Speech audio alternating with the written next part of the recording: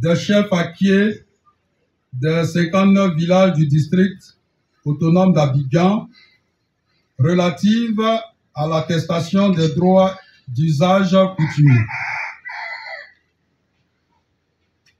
Les chefs des 59 villages acquiers du district autonome d'Abidjan se sont réunis en assemblée extraordinaire le jeudi 4 juillet 2024 à Lokwa, sous-préfecture d'Agnaman, de 9h à 13h pour examiner l'introduction de l'attestation des droits d'usage coutumier dû dans la gestion foncière en Côte d'Ivoire par le ministère de la Construction, du Logement et de l'Urbanisme. En effet, lors de la conférence de presse en date du 13 juin 2024, le ministère nous a mis devant les faits accomplis. L'État de Côte d'Ivoire a toujours consulté les chefs pour les prises de décision sur les questions foncières, mais contre toute attente, nous avons appris par les médias des réformes engagées par l'État au mépris des chefs de village.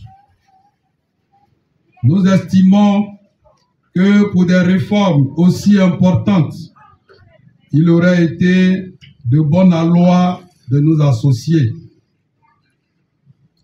Aussi regrette-t-il le mutisme observé par la Chambre des rois et chefs traditionnels de Côte d'Ivoire.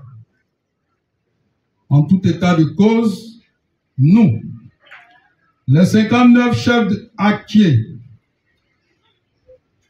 du district autonome d'Abidjan, dénonçons cette manière de faire et par conséquent, nous prenons en compte les préoccupations relevées par nos frères à Tchang. Les 59 chefs de village acquiers du district autonome d'Abidjan ne saurions accepter qu'on place le lotisseur au même titre que le chef de village pour la signature de l'ADU. Les 59 chefs de village acquiers du district autonome d'Abidjan se demandent si de façon insidieuse, l'État n'est-il pas en train de nous arracher nos prérogatives foncières au profit du guichet unique ou du notaire?